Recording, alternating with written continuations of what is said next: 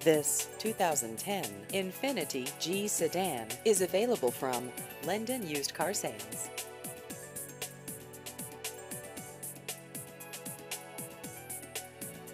This vehicle has just over 97,000 miles.